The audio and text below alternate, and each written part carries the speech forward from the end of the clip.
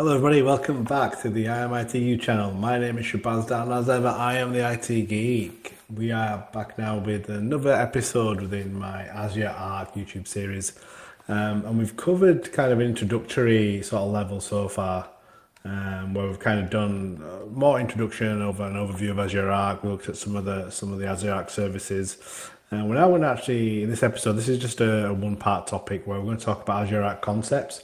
Um, we're going to cover a few different concepts. Uh, there are a lot of different concepts. There's two kind of specific ones I wanted to cover that are a bit more advanced. Um, and then in future episodes after this, we're going to go into more sort of um, Azure Arc Resource Bridge and Azure Arc Server, Enable Servers, things like that. So without further ado, let's get started. So this is Azure Arc Concepts. Uh, if you're not a subscriber, make sure you get subscribed. Um, and today we're going to be talking about custom locations and then Azure Policy Explicit Firewall Azure Firewall Explicit Policy um, as well, which is more of a, again, this is this is more of a concept as well, more of an advanced concept that I wanted to talk about. So let's let's talk about um, custom locations first of all. So uh, as an extension of sort of the Azure Arc location construct, um, a custom location is going to provide a reference uh, as a deployment target essentially uh, that administrators like yourselves can can set up when creating an Azure resource. So the custom location feature is an abstract, uh, the the backend infrastructure details from from the application developers, uh, database admin users as well, and other users within the organization. These users can then use that reference uh, from that custom location without having to be aware of those details. So again, it's allowing people who need to use Azure Arc to to deploy services without knowing sort of the back end details, which could be sort of uh, a security risk. Um, so it allows you to extend that Azure location into a custom location, essentially. Um, and there's an aspect of permissions as well, because you know it's not just about um, giving all permissions. Again, you need to make sure you, you we follow that, that sort of least privilege access permission model. So since that custom location is an Azure Resource Manager resource that supports Azure Role-Based Access Control or RBAC, an administrator operator can then determine which users have access uh, to to certain to create certain resource instances. Um, and this is both on the namespace within the, for example, from a Kubernetes cluster or target deployment of a SQL managed instance, enabled by Azure Arc or Azure Arc enabled PostgreSQL server as well or also the compute, storage, networking over vCenter or Azure local resources to deploy and manage VMs. Um, and we are actually going to do a bit of um, VM or vCenter onboarding in this episode uh, as well. Uh, so let's give an example of this then. Uh, let's just say a cluster operator can create uh, could create a custom location. That you could call it IMIT Geek hyphen healthcare hyphen app. Uh, representing a namespace on a Kubernetes cluster in your organization, just a data center. The operator then can assign an Azure RBAC permission to application developers on this custom location so that they can deploy healthcare related web applications. The developers can then deploy these applications to the IMIT Geek Healthcare app without having to know the details of the namespace and the Kubernetes cluster. So we sit, we're kind of we're kind of hiding all that um, back-end services from people who need to consume these these Azure Arc front-facing services, um, and then you can give limited permissions as well. You see.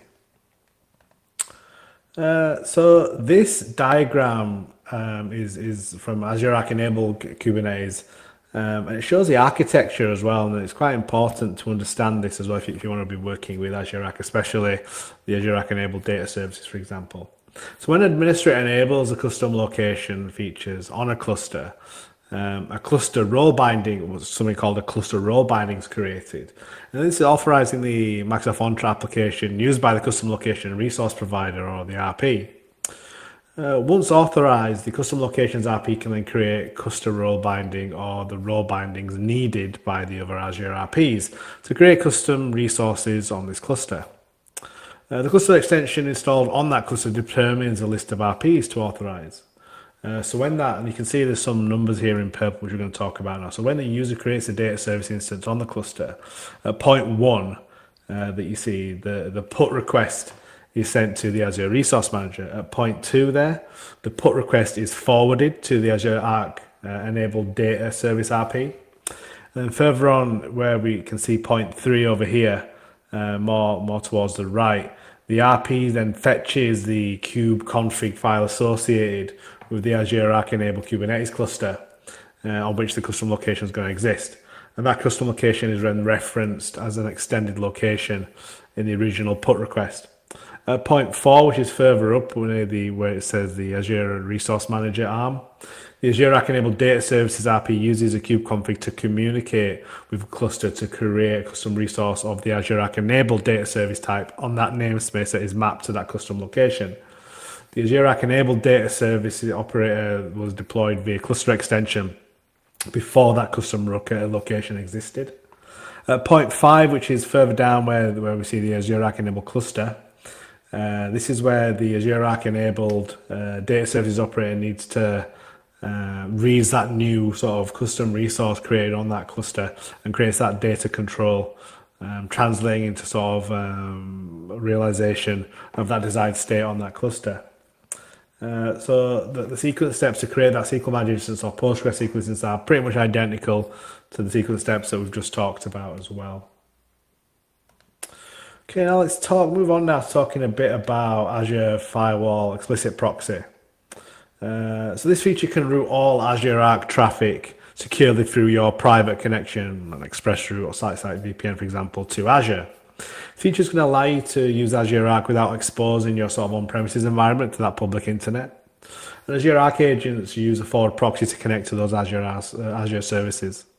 The Azure Firewall explicit uh, proxy feature is going to enable you to use an Azure Firewall within your virtual network uh, as a sort of forward proxy for your Azure Arc agents. Uh, I've got another sort of uh, architectural diagram, uh, but this time it's of the Azure Firewall explicit policy. Um, and this is using those. As, this is for, you know within with integration with Azure Arc enabled connectivity servers uh, servers as well. It's currently in public preview. But as you see on the left hand side, we've got our on premises architecture that's got our sort of machine agent. Uh, it's got the extension manager that manages those VM extensions, and then um, we've got that the Azure firewall, that explicit proxy that's set to forward all those proxy uh, traffic for the Arc agents, over going over that express route and then that hits our Azure firewall with that explicit policy that's enabled. Um, with all those endpoints, that's within Azure firewall. On the right hand side, oh, in all the green highlighted, that's where we have all the Azure firewall application rules. Uh, can then be used to control which endpoints are allowed to be reached as well. So there we've got Azure Monitor, Azure, Azure Arc enabled servers, Microsoft Engine for Cloud, etc., etc. That's a little bit about how the Azure Firewall explicit architecture works as well. Let's talk about some of the restrictions and current limitations with this then. So the solution uses the this the solution that uses the Azure explicit uh, firewall proxy is it's a forward proxy basically, and that feature does not support TLS inspection. Uh, TLS certificates can't be applied to, to the Azure Firewall explicit proxy either. And the solution is currently support isn't currently supported by Azure Local or Azure Arc VMs running in Azure Local as well. So very very limited um, Azure Local support there. Um, so just to keep that in mind. Okay, now we're going to jump into the demos. This is quite. I've been looking forward to this demo. So we're actually going to onboard vSphere or vCenter essentially. Uh, using a resource bridge. Um, so I've got a vCenter that's kind of big shout out to my, my friend uh, George, who's kind of let, let me his vCenter. So I'm going to onboard that into Azure and then Azure Arc, and then in, in future uh, demos, I'm going to try and manage that as well. So please join me in the demo. Hello, so we're back in my IMIT demo portal, and um, within Azure Arc, we want to actually go to VMware vCenter, and we're going to add VMware vCenter here. Now, this is where we need to create our resource bridge. Now, we've kind of already spoken about resource bridge, um, or started that topic. Uh, we're going to be sorry, we're going to be starting that topic in the next episode. Um, so we'll find out exactly what a resource bridge is in more detail, but we need to create one. This is essentially going to bridge the gap between our, our Azure uh, resources and our on-premises that we've got. So we're going to do a new one because we've not got one at the moment. So let's do some basics here. So let's call it um, I um, uh, let's just call it IT Geek uh, Resource Bridge 01. Nice and easy. Uh, I'll put it in the ARC RG.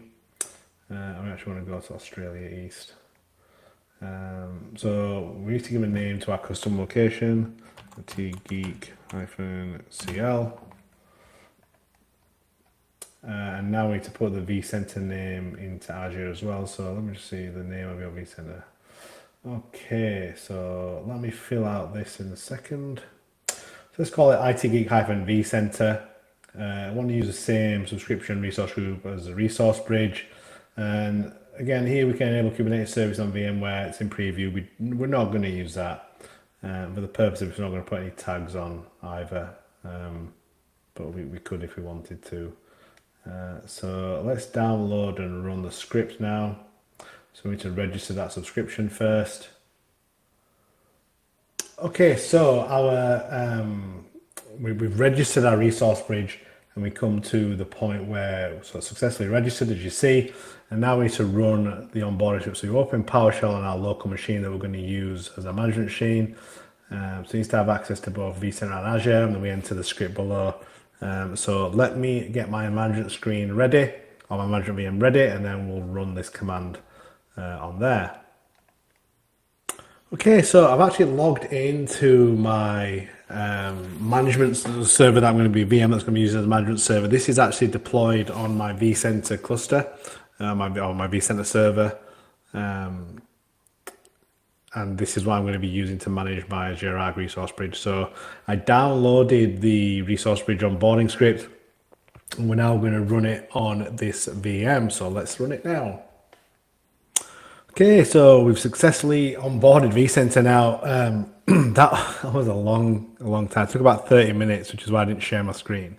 But if we start at the top, um, here we can see as obviously uh, I ran the PS1 file and as we've gone down here, um, it started to ask me certain questions. So obviously it validated a few things that, you know, the 64-bit version of Azure CLI that we mentioned was installed, um, any extensions, etc.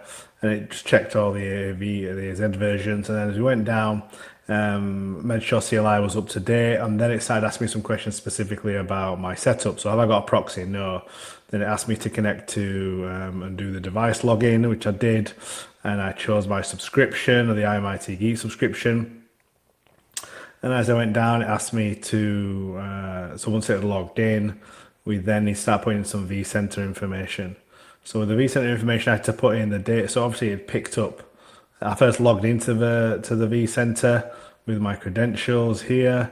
And then I had to select the data center, the resource pool, the data store, um, and so on. And I had to select the network, the the folder. And unfortunately, what I did at first is so so full full um, exposure here. I actually put the wrong virtual network, so I actually ended up erroring because I just couldn't make any contact with it. So tried it again. This time again, did all the validation, and I actually ended up putting in the correct network. So I just saw the same, so same same subscription logged in um, put in the same credentials I did before because they were fine, and I actually picked the VNet that my actual management that my management server is on, the one I'm actually on. So I picked that, and then from there, I chose the tier three HDD, and then I started putting the IP address details for static IP details for the resource bridge and, and the sort of um, uh, there's a resource bridge VM IP, there's a control plane IP, and that was it and the appliance IP, and that's where it started to install the on premises. So install the actual appliance um, on premises, as you can see uh, there. There it is there, and then um, kind of went, and you can see here I'm actually logged into, and this is all the stuff that it did.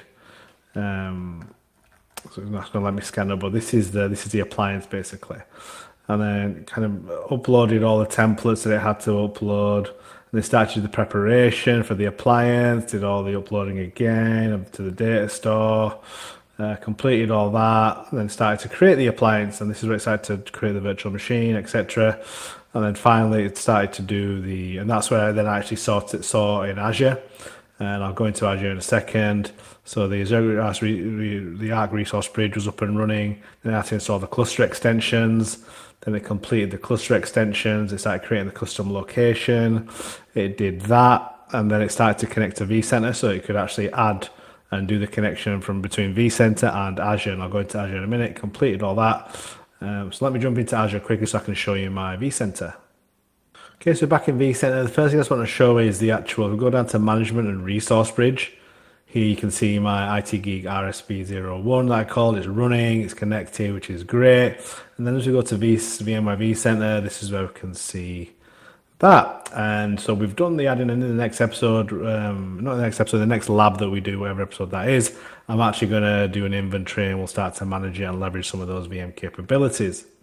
So that's a really big step, really you know interesting little demo there to add uh, vCenter. We can show the process of how to do that. Make sure you do you know fill, complete the prerequisites before, and, and, make sure you do all the set execution policy stuff in, in, in PowerShell beforehand. Otherwise, it's not going to work.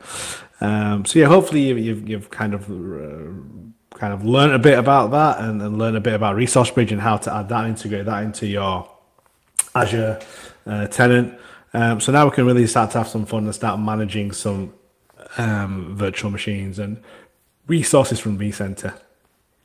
Uh, before we go, I just want to just just just repeat and reiterate that I do have a lot of content around Microsoft exams on my channel. It's all for members, so I'll put the member URL in the description. So for those members, you've got level one IT Geek, level two IT Geek, and level three. Various different um, benefits to each of those. So if you're interested in, in learning about Microsoft exams, I've got MS 900, AZ 900.